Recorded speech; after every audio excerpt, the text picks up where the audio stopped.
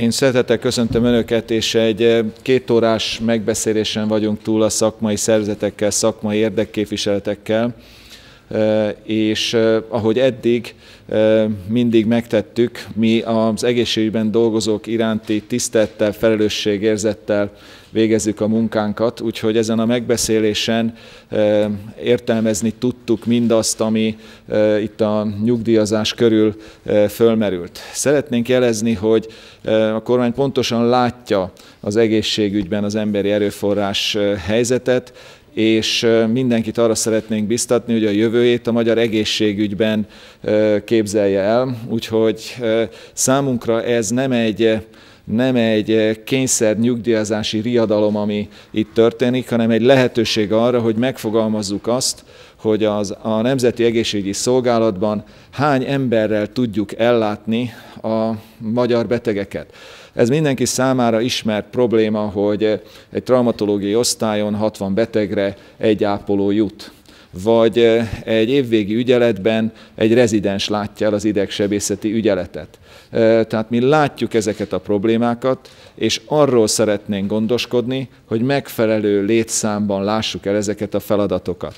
Ahhoz, hogy ezt megtegyük, értelemszerűen át kell nézni, végig kell vinni az egészségügyben dolgozókat azon, hogy letisztítsuk ezeket a foglalkoztatási viszonyokat, lehetőség szerint egy forrásból megkapják az őket motiváló javadalmazást, egyértelművé tettük az egyeztetéseken, ahogy miniszterelnök úr is mondta, hogy a jövedelme a nyugdíj mellett dolgozó kollégáknak nem fog csökkenni, de le kell tisztítanunk ezeket az ellentmondásos jogviszonyokat. Úgyhogy az egyeztetésen értelemszerűen mindenki el tudta mondani az álláspontját, jeleztek számunkra néhány technikai problémát, megállapodtunk abban, hogy a következő időszakban a létszámadatoknak a pontosítását elvégezzük, mert itt elindult egyfajta sajátos számháború.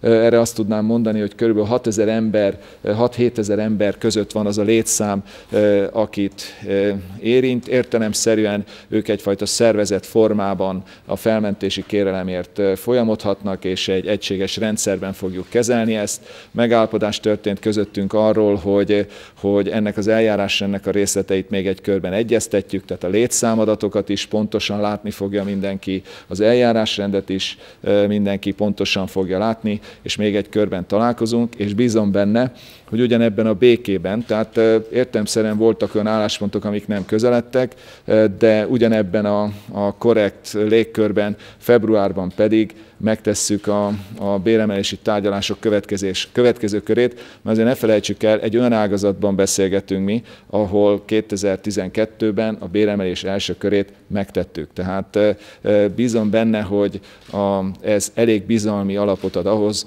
hogy konstruktívan folytassuk tovább az egyeztetéseket. Én ennyit szerettem volna röviden elmondani. Köszönjük Ezt én oda is adom, Angéla. És várjuk a kérdéseket. Van-e kérdés? Tessék.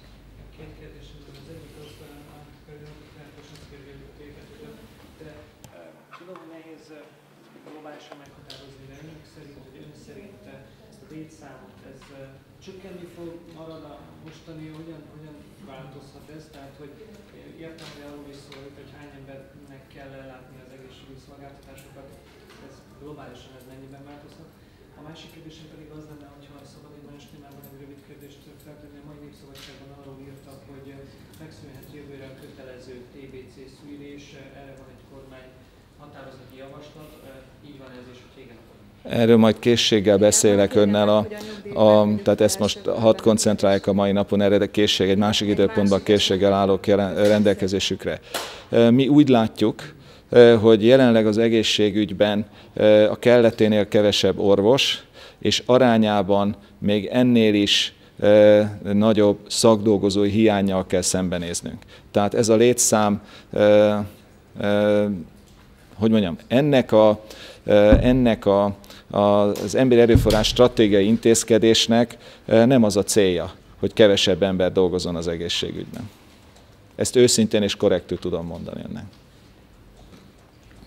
Kérdés hírtévé, tessék. Igen, ez a, ez a kérdés, azt gondolom, sokat érdekel, hogy ugye itt az volt a rendeletben, hogy akik nyugdíjaznak, annak a státuszát nem is töltheti be senki. Ez a korlátozás fel lesz-e oldva?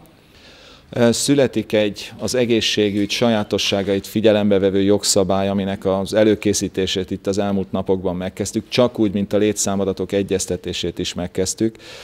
Ezeket a kérdéseket kezelni fogjuk. Azt elképzelhetetlennek tartom, még abban az esetben is, hogyha egy egy diagnosztikus osztály vezetője úgy dönt, hogy ő életkorától és ettől az intézkedéstől függetlenül ő nyugdíjba szeretne vonulni, hogy megszűnjön a, a patológusi vagy diagnosztikai osztály vezetőnek a, a státusza. Tehát itt, a, itt az lesz a döntő, hogy az egészségügyben hány emberre van szükség, nem pedig az adott technikai technikai megoldás. Tehát az lesz a döntő, hogy, hogy hány emberre van szükség az egészségügy üzemeltetéséhez, az ellátáshoz.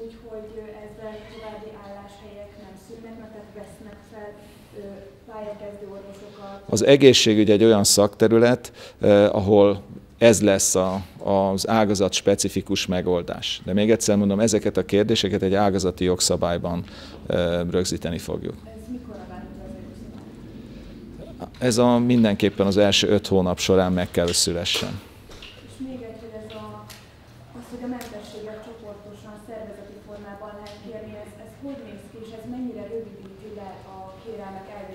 Hát a mentességet egyénileg kérik a, az emberek, de értelemszerűen ez az intézmény csoportosan intézi. Tehát ez egy szervezett folyamatnak kell lenni, hogy a feszes határidőkkel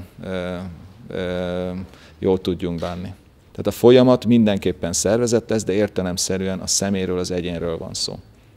De egyébként eddig is el kellett beszélgetni a nyugdíj korhatárt elérő kollégával, hogy akarja folytatni, tehát igazából itt létező aktusoknak a, a, a, a formalizálásáról van szó. De ez egy szervezett folyamat lesz mindenképpen.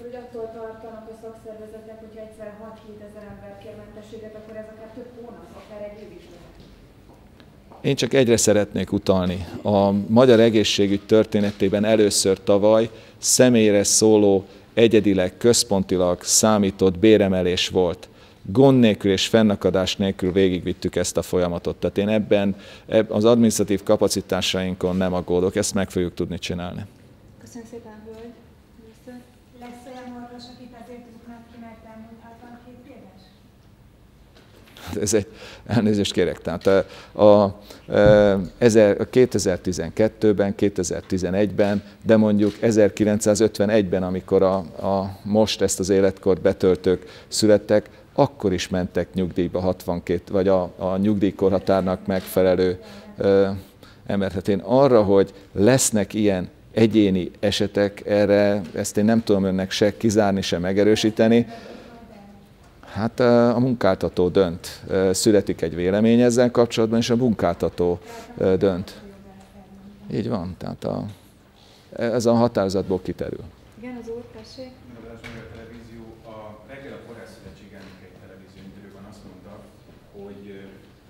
tulajdonképpen úgy is meg lehetne változtatni ezt a kormányhatározatot, hogyha az 1.2-es, 1.2-es pontban beleírnák azt, hogy a felsőoktatásban résztvevő dolgozók mellett az egészségügyi, egészségügyi dolgozók is mentességet kapnak, és akkor meg lenne oldva ez a helyzet. Erre például a felsőoktatásban az én ismereteim szerint egy a nemzetközi akkreditációs kötelezettségek miatt van erre a kivételre szükség vagy lehetőség. Ez nem csak egy ágazatot érint, én nem gondolom, hogy ágazati kivételek lehetségesek lesznek, ugyanakkor az ágazati sajátosságokat egy ágazat specifikus jogszabályban rögzíteni fogjuk.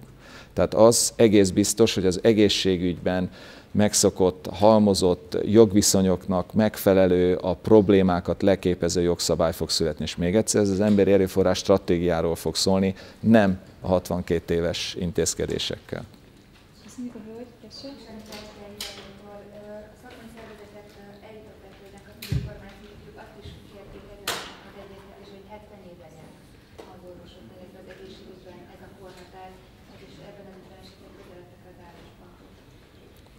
Ezzel kapcsolatban én konkrétan kérdeztem, konkrétan kérdeztem tőlük a nyugdíjkorhatás változtatásának a szükségességét. Ezt így nem fogalmazták meg. sőt kérték, hogy ezzel a kérdéssel ne is foglalkozzunk. Ennek ellenére néhány szakmai szervezetnek a, a tárgyalási pontjai között ez tényleg ott szerepel. Tehát ez egy elvi lehetőség, de többen azt mondták, hogy több ö, szervezet azt mondta, hogy ezzel ne foglalkozunk most. Jól értem, hogy abban az évben nem közeledtek az álláspontok, hogy általános mentességet kapjanak. Igen, lehet mondani, hogy ez az a, ez az a pont, ahol, ahol nem közeledtek, igen. Azt lehet mondani, hogy talán ez az egy pont, ez az, ez az egy lényeges vagy kritikus pont, ahol nem.